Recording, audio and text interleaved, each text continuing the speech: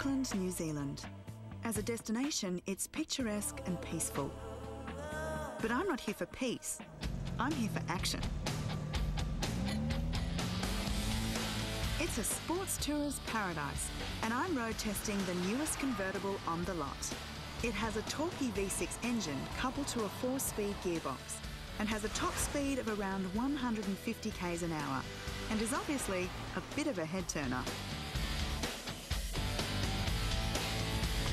Extraordinary thing about this little Sportster is that it gives a whole new meaning to the words off-road driving. OK, Michael, hit the button. Hit it! First difference you'll notice about the Aquada is its central steering. Here's the second difference. You can drive off the land straight into the water and zip across the bay.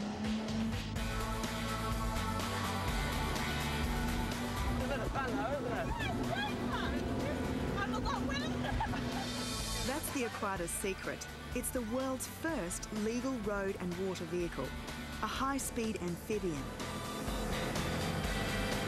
On water, it has a top speed of nearly 60 kilometres an hour. It performs as well as any speedboat.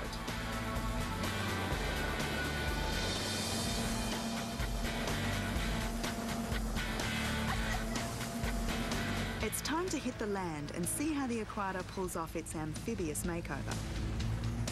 The first giveaway that this is not your average car is that it has no doors. You step into it like a boat.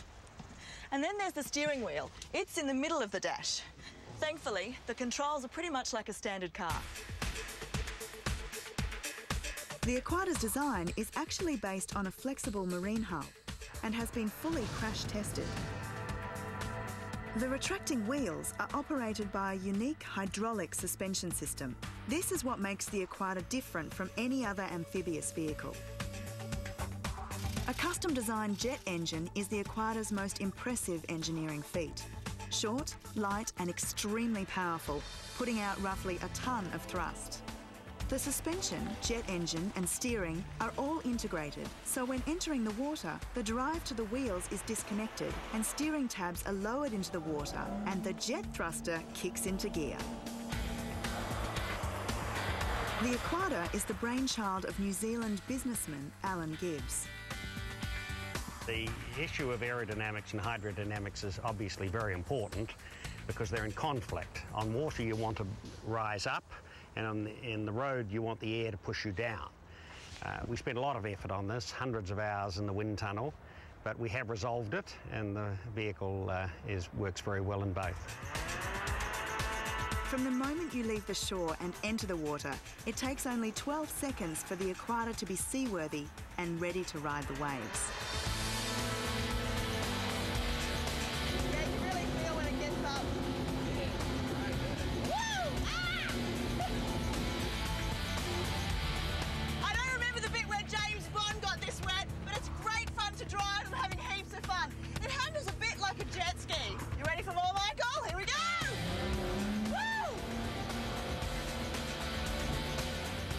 Big question on everyone's lips is, of course, how much? Alan thinks that when the cars finally hit the showroom in a couple of years' time, they'll be somewhere in the vicinity of 100,000 US dollars. I better start saving up.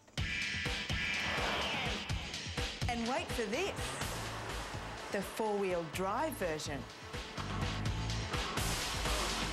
It's only a prototype, so there's no details yet on price or when production may start. Just a few tantalising tests on what's sure to become the must-have off-roader.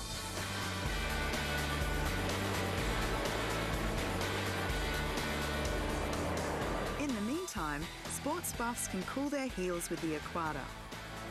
It was designed especially with sports like water skiing and wakeboarding in mind. Just what you need for a great day out on the water.